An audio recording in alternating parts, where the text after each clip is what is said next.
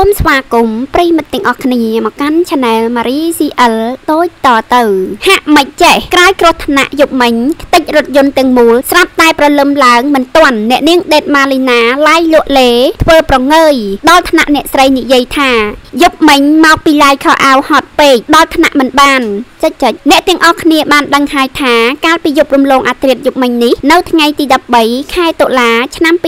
2021មានហេតុការណ៍កើតហេតុមួយផ្អើលពេញកណ្ដាលទីក្រុងភ្នំពេញទាំងយប់ដោយសារតែឡានទំនើបមួយគ្រឿងដែលមានតម្លៃរាប់លាន បានធ្វើការបុកនិងទ្រង់ផ្លូវធ្វើឲ្យមានការខ្ទេចខូចខាតជាដំណំនិងក៏បានដឹងច្បាស់ថាជាឡានរបស់អ្នកណាផងដែរបន្ទាប់ពីធ្វើការពិនិត្យទៅលើស្លាកលេខនិងបានធ្វើកុសលវិច័យក៏បានឲ្យដឹងថាជាឡានរបស់អតីតភរិយារបស់លោកឌួងឆាយដែលធ្វើឲ្យមានការភ្ញាក់ផ្អើលខ្លាំងមែនទែនកន្លែងកើតហេតុនៃគ្រោះថ្នាក់នេះបានឲ្យដឹងថាស្ថិត នៅលើដងវិថីសហព័ន្ធរ៉ូស៊ីនៅសង្កាត់ទឹកថ្លាខណ្ឌសែនសុខរាជធានីភ្នំពេញតែស្រាប់តែព្រឹកថ្ងៃទី13ខែតុលាឆ្នាំ